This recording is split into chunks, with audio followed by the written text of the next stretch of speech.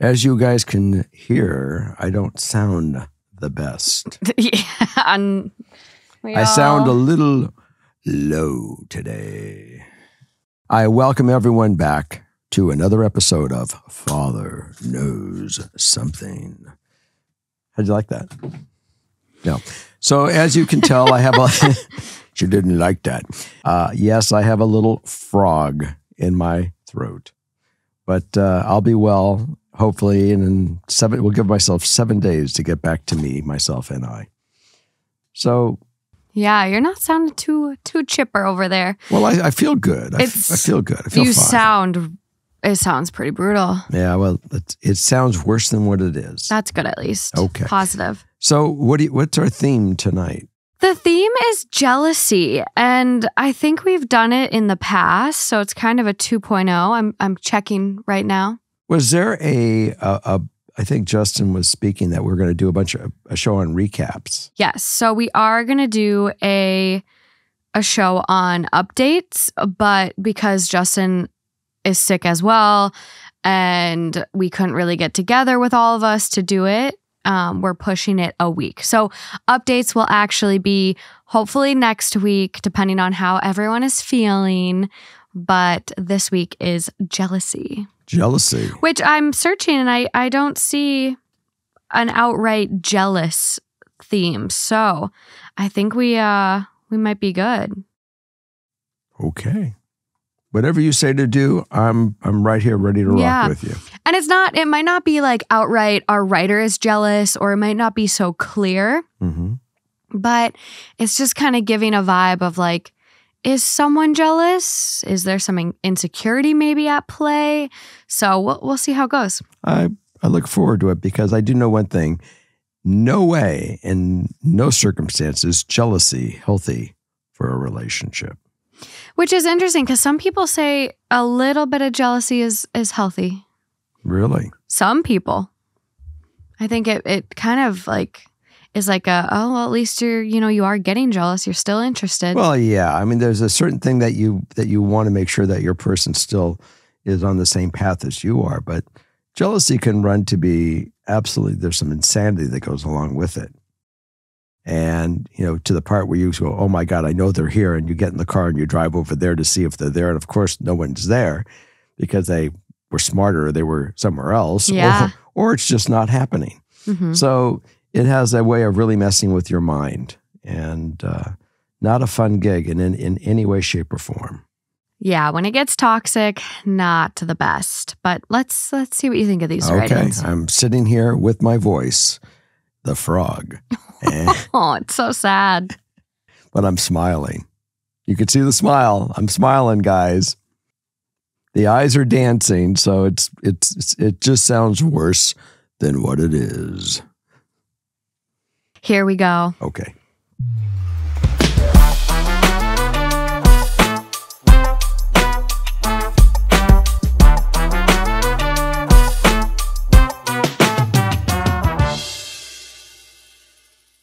Okie dokie. Up first. See how comfortable I am? Yeah. Relaxed. Yeah, and your new shirt from Costco. And my new Costco shirt. I like that one. Okay. Okay, so it says, Hello, Jerry and friends. I have an issue that's made me slightly uncomfortable for a while now. In 2020, I moved in with my best friend. After about a year and a half of living together, I met my now boyfriend. I still spent a lot of time at home and going out with my friend because I didn't want her to feel like I dropped her after getting a boyfriend. Still, no matter how much time I spent with her, she still seemed jealous of me spending time with my boyfriend. She would make comments that she wishes she had a boyfriend, and once told me she thought my boyfriend was hot and wished he asked her for her number instead of mine the night we met. It made me extremely uncomfortable, and she continues to make even worse comments. I lived with her for two and a half years and recently moved in with my boyfriend. We met up for lunch one day, and she told me she was talking to her dad, and he asked, quote, did blank and her boyfriend break up yet? And is she moving back in with you? I honestly have a hard time believing her dad actually asked this. And if he did, what did she tell him to make him think that? I told my boyfriend about these comments and it really upset him as well. I feel she is not truly supportive and is jealous of me. Even before I started dating my boyfriend, she wouldn't celebrate my successes with me. She always assumes the worst or asks rude questions. For example, if I got a new job, the first thing she would say is something like, quote, how much are they paying you? Or if I slept in on a day I had off, she would worry for me and think I was skipping work, assuming the worst. I don't want to be friends with her at all, or anyone that's not going to support me. My issue is I'm graduating next week, and she asked what day it is, and I told her, not really thinking about it. She said, quote, Great, I'll be there. Wait, can I come? I just assumed I was invited. I felt like I couldn't deny her at that point, but I really don't want her at my big moments anymore, especially since my boyfriend and his family will be there. Ideal outcome I have distanced myself, but I wish she would just leave me alone. I don't want to talk to her about this because I just don't care or feel I owe her an explanation. If I tell her why I don't want to be her friend, I know she will get defensive or say she didn't say slash do those things. I'm just done. Thank you for your advice. There are times that some people just say things that are just dumb. So if the father if the father honestly just said, have they broken up yet? Is because he doesn't have any sense to say something brighter. Like, how are they doing? I hope they're doing wonderfully or something positive. If it was really her and that was something that she just put in because she misses you and she wishes she could have that relationship back to what you guys had, and she is insecure that she hasn't found, you know, a mate to be with. And, you know, people, there are some people that have just jealousy in their DNA, their own insecurities, where you know, you have something and they want it. You know, I have some friends that are much more successful than I've ever been. And my feeling was, I'm so happy for them. I'm glad they have that success. I'm glad they can buy the things they want to buy and do the things they want to do. It doesn't affect me to say, gee, I wish I was them because I'm happy who I am and I'm happy with what I have and I'm grateful for the things in my life. So I never looked at it that way, but some people don't see things that way. And, you know, the fact that you're happy in your life and you don't need her in your life is is fine and healthy. Nothing wrong with that. You know, to make a scene to say, gee, I really don't want you to come to my my my graduation. Graduations are usually an open field if she comes to the graduation and she sits out in the back, you know, out, out in the audience, you don't have to invite her to dinner with the family afterwards. That is true. She comes up to you, she congratulates you, you say thank you, you give a hug if you wish, or no hug if you don't wish, and life goes on. You don't have to involve her in your daily phone calls, and little by little, you phase out. You know, you don't have to make a big issue about it, but you can easily send a message by just not involving yourself. And that's probably the way I would handle it. I would not say anything about this you know, don't come to my graduation, I would just say, you know, we'll be there. I mean, it's, like I said, it's open seats. She comes when you guys go to eat. You've already had your plans who you're inviting to go to lunch, and you go to lunch. And if she says, "Are you guys going out after afterwards?" You'll say, "We had, you know, we have our own plans, and you know, we'll we'll catch up at another time." And, yeah, and that's all you need to say. You have no obligation whatsoever at that point in time, and just be who you are no more, no less. Yeah. Well, there is a little bit more of additional info. Okay. And it goes on to say, not a big deal, but also kind of weird. I was in a wedding her and my boyfriend were both invited to. It was in December at night, so we all knew it would be cold. She wore a very summery dress and asked my boyfriend for his jacket. It made me upset to see her wearing his jacket. My boyfriend is very kind, so I know he just didn't want her to be cold and I'm not mad at him for this. I feel like my friend should have known this makes her look like she's with my boyfriend. When I walked her to her car at the end of the night, she had a bunch of nice winter coats in her car. She brought multiple jackets, but instead of wearing one of her own, she wanted my boyfriend's. It felt like she was living out some gross fantasy where she was his date. I would just hold yourself higher and not not lose yourself with this stuff. You know, the fact that she's a goofball, you know, just ignore it. You're and, stealing my word. Look at you. Really? Yeah, that's my word. Goofball. Maybe I learned it from you deep down. Could be. Huh. Imagine that. Yeah.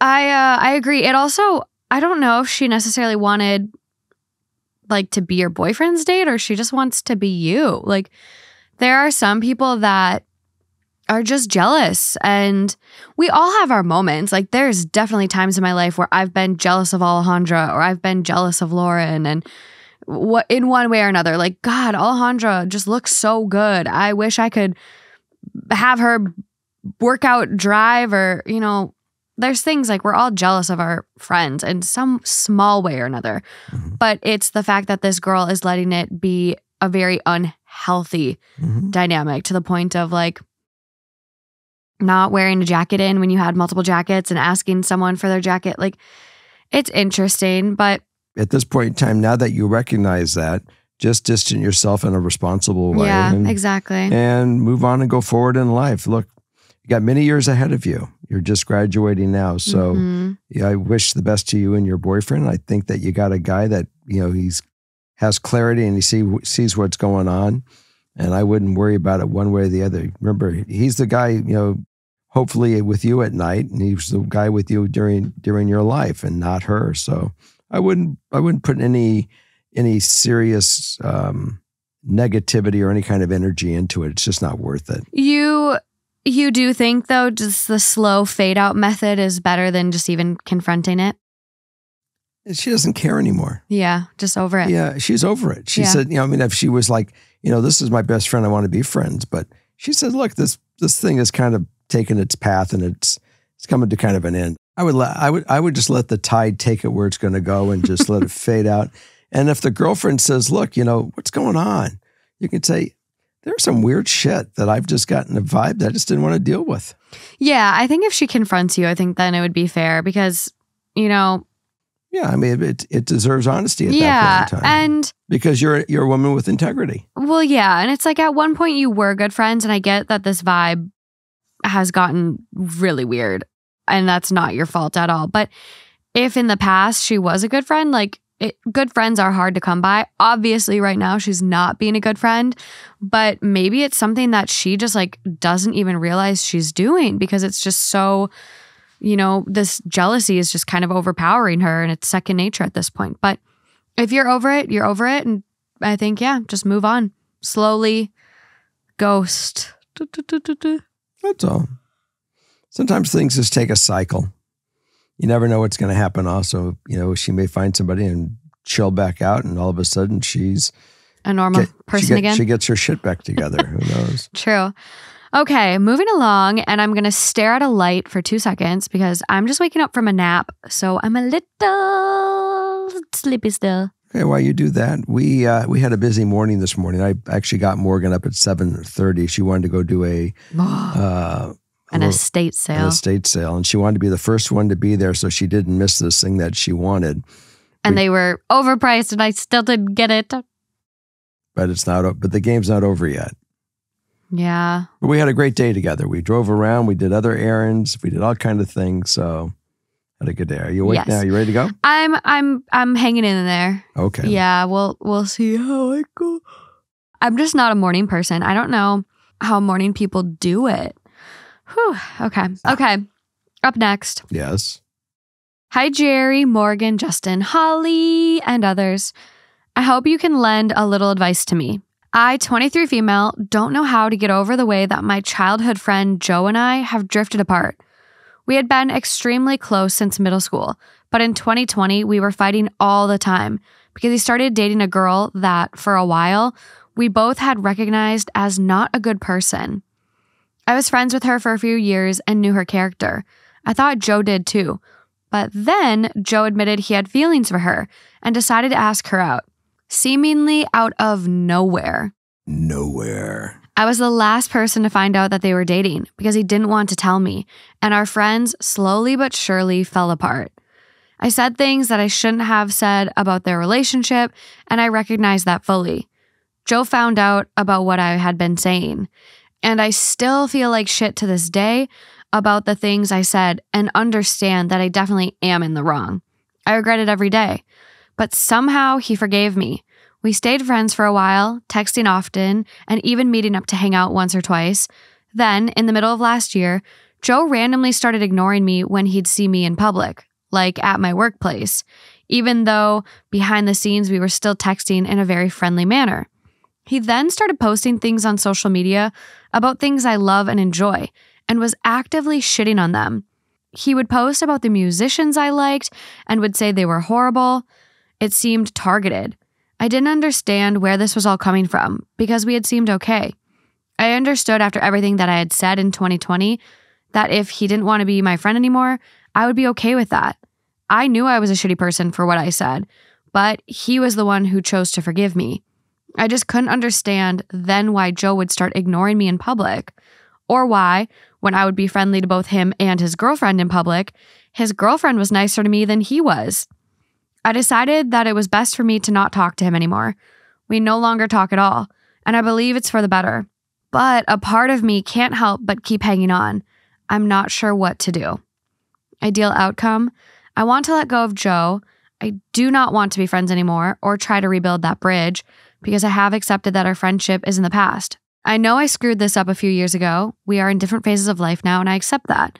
But I just want to know how to let go. It's hard to see him in public and on social media. I don't want to hold on to this anymore. Even the smallest bits of advice would help. Thank you. Additional info I know it may seem I'm jealous of Joe's relationship with this girl, but I'm not. I have never had feelings for Joe in that time that we were friends. I'm a lesbian. My first instinct as we were writing, as you were reading, I was saying maybe she needs to write a letter, but the answer is you only write a letter if you want to find a remedy to the problem. And she is clear that the relationship is over. She just wants to find a way of freedom. My answer is block everything. Don't allow discipline yourself not to be able to see anything on Facebook. Discipline yourself or, or, or cut access that you can get any kind of idea what's going on with him, just so your brain has a chance to heal. You, you have to really, you know, literally sever that wire. And with that, maybe that will help you go on and find new things in your life to be fulfilled and you will heal from whatever that relationship or whatever that connection is. Because obviously, you guys must have had a very good connection for all those years that you were best friends. And look, there's an intimacy in friendship. And whatever that was, that connection that you had, there was a very close connection that you guys shared that got broken when somebody else took that part of him and and and his attention. So it's a healing. You just have to heal from it. And maybe after it's all healed, then you guys will, you know, one day cross bridges, but you'll be it will be a healthy connection, a healthy hello, not one of how do I deal with this? Because when you meet somebody and you're going that you used to be friends with, they say, "Oh my God, how do I deal with this?" That tells you that there's something still connected, and you're not healed from it. There's a wire still loose. So sever it and let it heal. That and it's also just really awkward. Like mm-hmm. I don't know about about you, but I get really, really bad, like social anxiety when, like, just, I don't know what it is sometimes. And so, like, I luckily haven't ran into the girl that I, like, was really good friends with, like one of my best friends, and then woo, like f- things fell apart. She was a terrible person. Um, and I have not ran into her, but I know if I did, I would probably poop my pants. Like just that awkward, like how do you uh, just do you say hi? You're do not, you not say hi? You're not healed. No.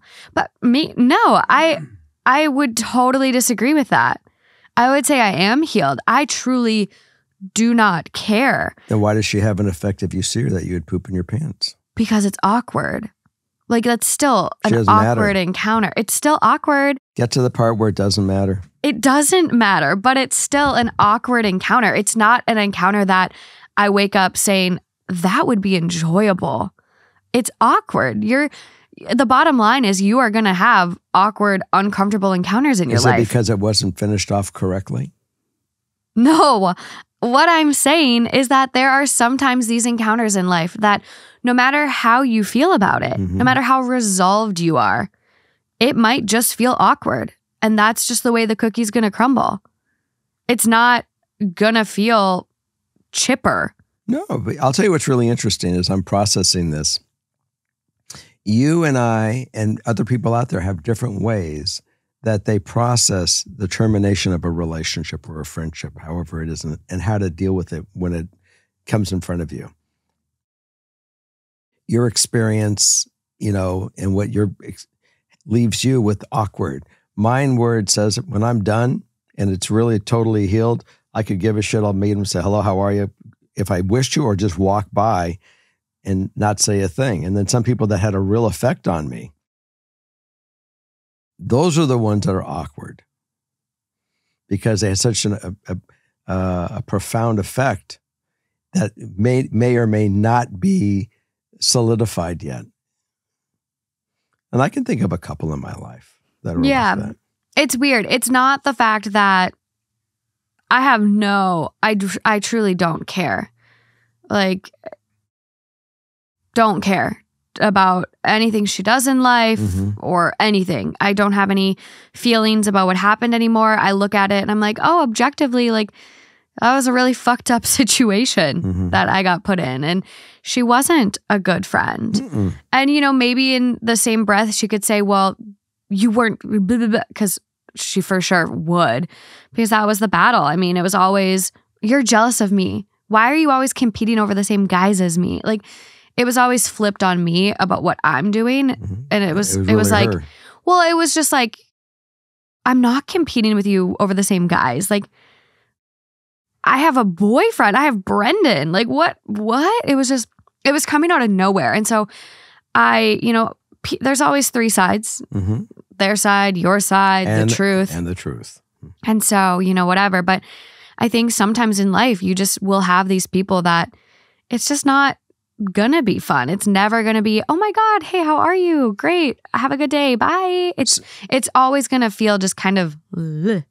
So the interesting thing is because Father only knows something, doesn't make him right. Just this is just a, a concept that we all have our own our own feelings on how to get through some of this stuff for sure. and to uh, to heal. But Yeah, I know. just I think honestly, like the best thing you can do, it's like, oh, it's hard to see him in person. I would, you know, just give a wave, but I would unfollow on social media where you say like it's hard to see him on social media. You don't have to follow him still. Like Oh. you can unfollow him and still remain neutral. and that way you're you're you literally block him out of your life as much as you can. Yeah. And I think a lot of people need to do that. Like, if Mhm. there's people in your life that you just find that aren't healthy for you, like even influencers or people you follow on your social media, that anytime you see their posts, they make you feel bad or they're shitting on things you like, but like, oh, you really liked their stuff. Uh, unfollow them. Like, there is such a toxic relationship with social media sometimes where you feel the need to keep following people because they follow you or you don't want them to unfollow you. But bottom line, if it doesn't make you feel good, don't be following that account or that person. I agree, totally. Yeah. Okay. So we wish you luck with this one, and Yeah. and hope you heal hundred percent where you don't have to even let this person affect you in one way or another. Yeah, for sure. It's a good song, isn't it? One way or another. Go Your voice is really scaring me. okay, moving right. along. Okay, let's go. Hello, Justin, Morgan, and Dad. I need some help from an outside perspective. This might be long, but I'm hoping for some help, and I know you guys love to have all the information. So here it is. I, 21 female, and my 20 male fiance and my daughter, 2 female, have been having problems with my mother in law. Just for some background, me and my fiance have been together for a little over four years.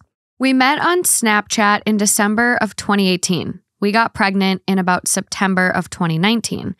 I gave birth to my daughter in June of 2020. She's a COVID baby, lol. We have cut contact with my mother in law because we don't want her involved in our lives because she's just absolutely crazy. She let my fiance's father abuse him when he was a kid and sat there and watched. His parents never wanted him, and it took him years to realize his family wasn't good. We don't want his family in our lives, let alone in our daughters. After my fiance's father passed away, he got death benefits, and when I got pregnant, he moved in with me. His mother was still using his money on her bills in a house he wasn't living in. Even after he got his money, she made him pay for her bills. Since we cut contact, she has people stalking my social media, having third party contact, and is now trying to have people take pictures of my daughter, a minor, when we are out in public and have them send them to her. My fiance's mother is not my daughter's grandma, even if they are blood, because she never tried. It's always us trying to make her have a part in our daughter's life. She even threatened to hit my fiance while I was pregnant, all because he was setting boundaries. I found out a week ago by a girl who works at Walmart that cashes my checks that my fiance's mother was talking shit about us and that she wants her to take pictures of my daughter and send them to her. This threw me over the edge. We want to take her back to court for a restraining order, but I'm scared that we might lose again, or the judge will tell us it's just a son trying to have a family and arguing with the mother. I want the judge to take this seriously, and I just want to keep my daughter safe from someone who only sees her as something she couldn't have. I just want to know if you guys think I should try again or leave it. Ideal outcome I just want my fiance's mother to leave us alone and to stop having people spy on us and steal pics of my daughter. I want to know if I should try and take her back to court and get a restraining order on her, or if I should just leave it be. Additional info. I believe she is jealous of me and having a child with my fiance because she couldn't. She always wanted to know about his sex life, said sexual things about him, said his penis was bigger than his dad's, and I could go on and on, but we would be here for too long. I believe she has wanted to fuck my fiance, but obviously couldn't. She treated me like I was carrying her baby and always made comments about my parenting and body. She also tried forcing us to do things with our daughter for other people just because they are family. I've never even met them. My daughter has never even wanted to be around her, let alone let her hold her. And she always said that I was teaching my daughter to hate her. The judge also told her that if she tried third party contact or anything, that he wasn't going to be so nice. It's evident that they have gone for restraining order before, which we, we learned that through the conversation. Yeah. So the most important thing that I would try to figure out is why did the judge refuse the restraining order and what has changed since? If nothing has changed since, it's the same action then you'll probably come up with the same place where you are today. But here's the most important thing I'm not a lawyer, I'm not a judge. I don't think like a lawyer and I don't think like a judge. So that's something for you to find counsel and have counsel or a lawyer direct you on this. Yeah. Or protective child services, maybe that can step in and help you with this as well. You know, the the greatest thing is sometimes when people don't get boundaries. And look, when you said this woman, you know, this is your this is the father of your ch- of your daughter's mother, biological mother or stepmother. Mother. You know, to make an accusation, she wants to fuck her son. That that shows that this woman is really twisted. If, if there's any truth to this, there's thing. some moms out there that definitely this is fucked up shit. So, you know, if if you can't get the boundary because they live around the block, then maybe you need to pick up and move around the country and relocate yourself to a place where you are protected. If, you, if she doesn't leave you alone and the court system won't help you, that's your only direction is that you have to pick up and go somewhere where she can't find you. Yeah. You know what, though? I could see that first court appearance. I could see a judge, especially a male judge, sorry. Okay. But I could see a male judge just kind of looking at this as, oh, a woman, she's harmless. This is just family drama. There's no restraining order needed. You guys need to figure this out between yourselves. I could see a judge being a little easier initially in this situation and not wanting to elevate it mm-hmm. to a restraining order right so away. Why do they put a rest- what does a restraining order represent to you? Just curiosity. Um, a restraining you- order to me sets specific legal guidelines that that person is prohibited from depending on the order, being in a certain, they have to be a certain distance away from you. They have certain regards to not being able to contact you. It just depends on this, you know, what so, gets approved. So a, reput- a, a restraining order to me brings on a word called irreparable harm. And if someone's going to cause irreparable harm, that's when a restraining order kicks in. So you have to go proven that this person is harmful and can cause harm that is irreparable. Well, so according to Google Yes. and Shouse Law Group, okay, because remember, I'm not a lawyer. a person can ask for a civil harassment restraining order if the person is being harassed, check, stalked, check, abused or threatened by someone else, and the person is not in a close relationship with the restrained party. So I think the restraining orders can honestly be more casual than we might think. Like I think I think, you know, asking people to take pictures for her, that is stalking.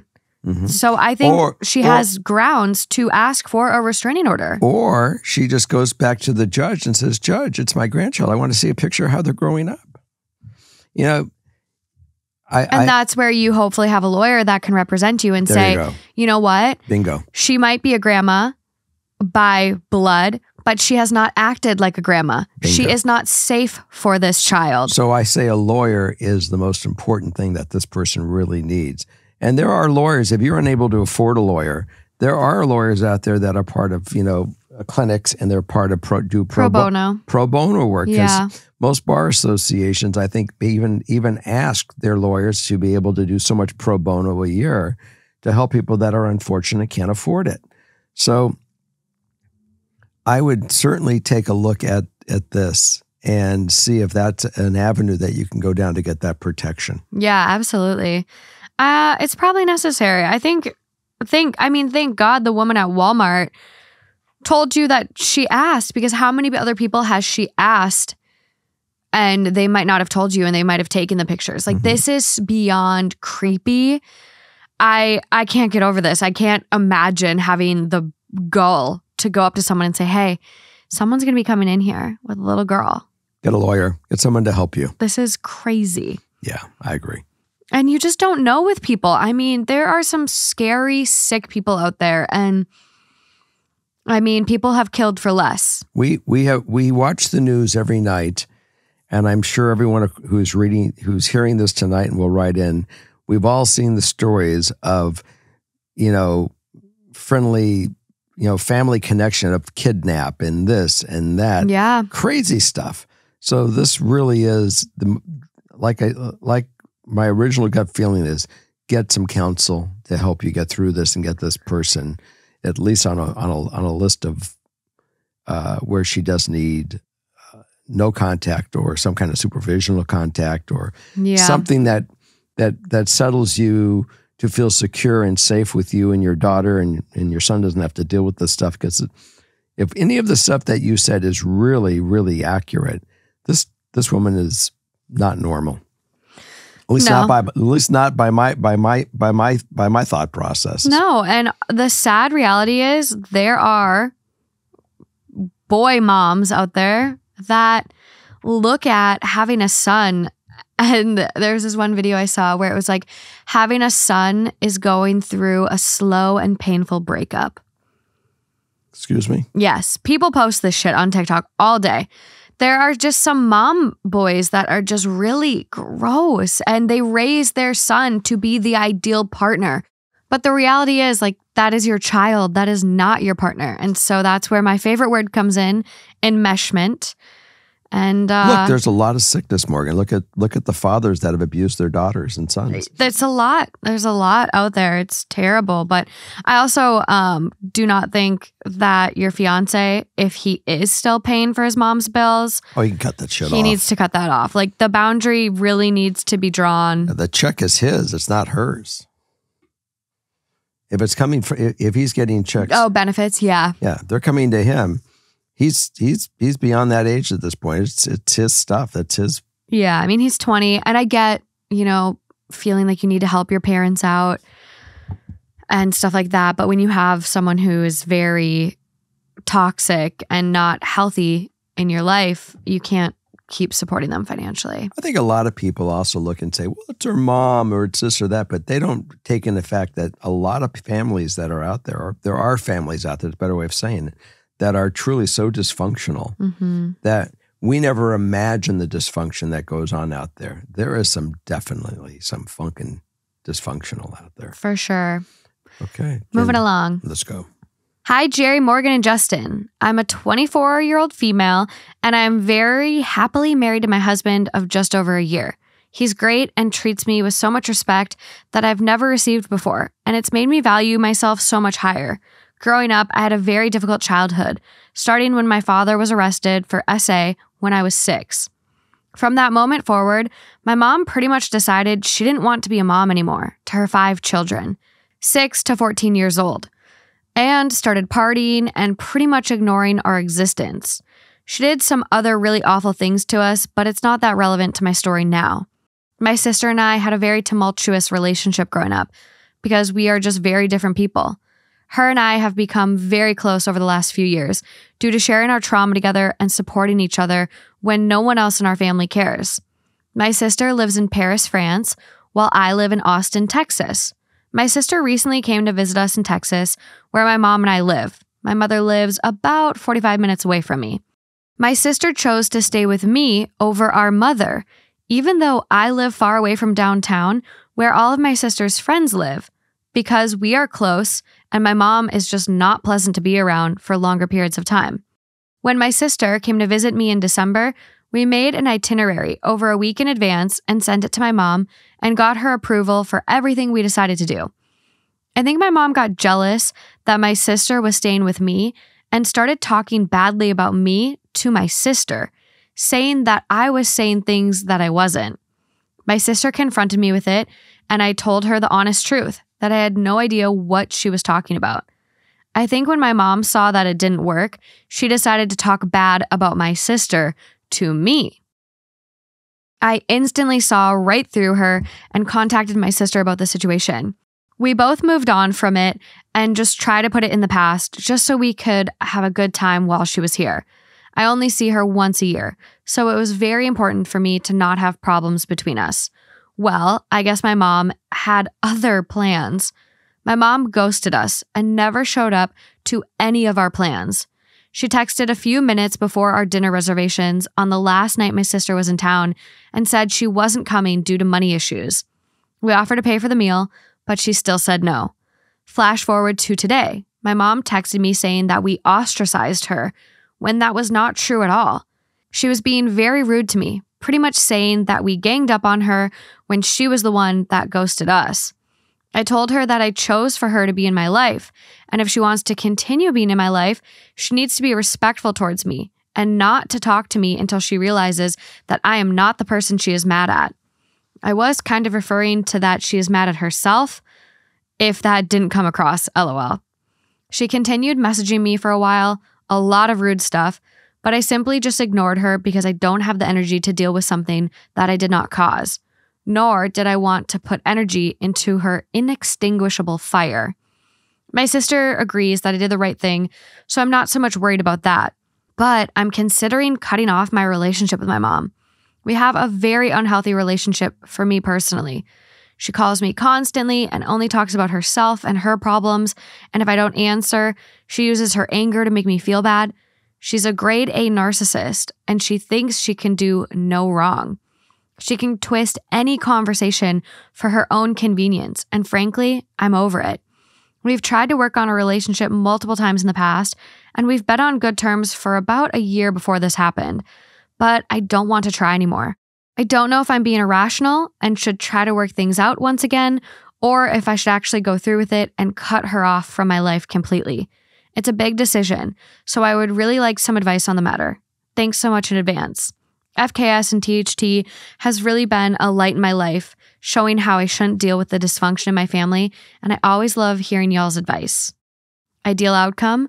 No, not really. I don't know what a good outcome will be, but I just want to go with the healthiest option for my mental health additional info, I just want to say thank you for taking the time to read my submission. I really value y'all's advice and would love to hear what you think. I think you guys, your sister and you, have a great grasp on the situation. You know, the dysfunction that your dad had and the fact that it carried through also with huge dysfunction with your mom for just all of it. You guys are right. If your mom wants to partake and and not become part of an issue, I think that's great when she's able to do it. The fact that she's not doing it, you don't have to buy into that control and all that crap. You guys really got her figured out and you totally got to enjoy yourselves and not let her drama uh, affect you. And that's going to reinforce something with her to say, I can't do this. And maybe you'll be fortunate enough that in the future, maybe it might be a, might be next time she might be uh, amenable, or it might not be for another five years of this repeat performance of you guys saying we're not going to take this shit. I I think that that you guys are on the right path. Totally. Yeah. Well, and it. I mean, sh- how the the trip played out really just shows where the mom is at. She didn't like how things weren't going her way. And so she sabotaged, and by sabotage, didn't show up. Mhm. So then she could play the victim. Classic. I mean, just classic. So I think like you're probably at a point where you're like, you're so burnt out about trying and putting in the effort. I think the only thing that might be something to consider is like low energy options where it's like if your sister is in town again, Mhm. probably staying with you again. It can be like, hey mom, blah blah blah and I are going to dinner. Would you like to come? Love to have you. We're going to so and so at 8 p.m. Feel free to join us. We'll it would see. be great. We'll see you there. We'll see you there. If she comes, great. You guys can continue that relationship as long as it's healthy. And if she doesn't come, she can't play the victim and say, You didn't invite me. You're ostracizing me. Like, you get kind of the best of everything. And you just don't invest so much anymore. And it sucks because that's your mom. Like, I think, you know, we all want good, healthy relationships with our parents. And so it's sad when we feel we get to this point of, I need to cut contact. It's, Mhm. it hurts. But at the same time, it does feel a lot better not having that toxicity. So it's it's a tough decision. And I think you just need to decide like what's gonna be the healthiest and best for you. The the manipulating that she attempts is just not acceptable. No, the fact she's trying to stir the pot between the two siblings and and, I- gang them up on each other. Yeah, and I think that I, I and I might even say it to her. I would say, you know, mom, I, what, I mean, this is the la- last time that you know Betty was here. There was this shit going on, Mhm. and I'm not going to tell you that it, you did it or didn't do it. I'm just going to say we read the shit going on, and we're not interested in it. what shit? I don't know what you're talking about. So I'm glad you feel that way. But just know that whatever's going to go on in the future, when she gets here, we're going to call you up, say, we're going to be here. If you want to join us, come join us. And if you don't, we're not putting any pressure upon you. Yeah, I I would say, you know, that might be the way to go, especially because like the past year had ha- up until this Mhm. had been very drama free.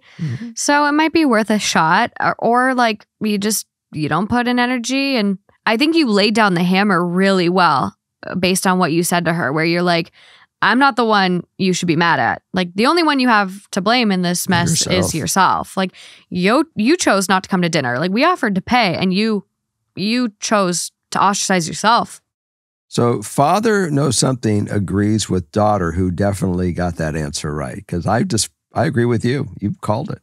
Yeah, it's hard. It just sucks. It Perfect. sucks, but you know, a lot of moms do this. I um I have a friend who has a parent that went AWOL after a divorce and basically left a 5-year-old to fend for themselves and it's it's wild that people sometimes choose to have kids and then just kind of pop off. We, uh, we also knew Taylor had a friend. Yeah. that- and he ended up dying. Yeah, it was really sad. Very sad. Really So really sad.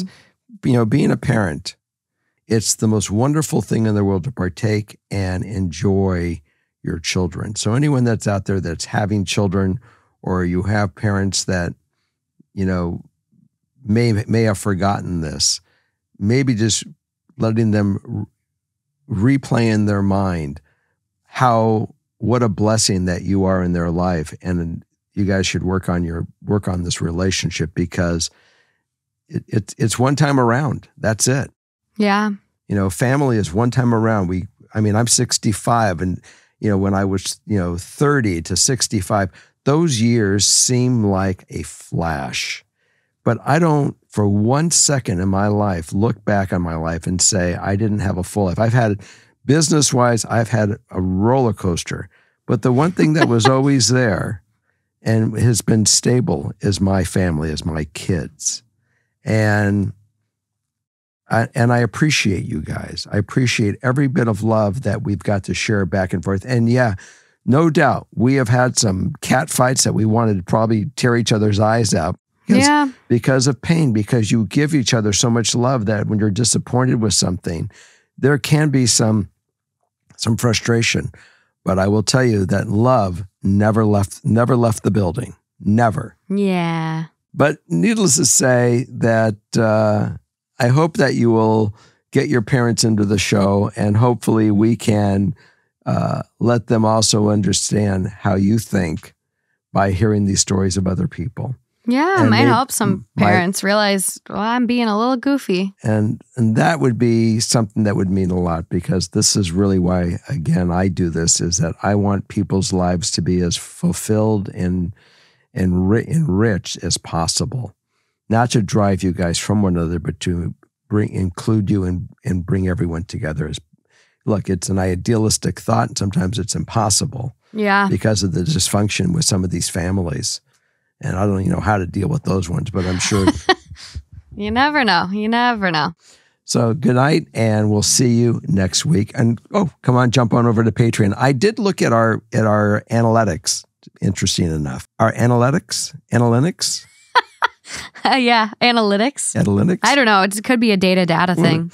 Anyways, I see that it's like forty three percent of our watchers are subscribers, and the balance are viewers.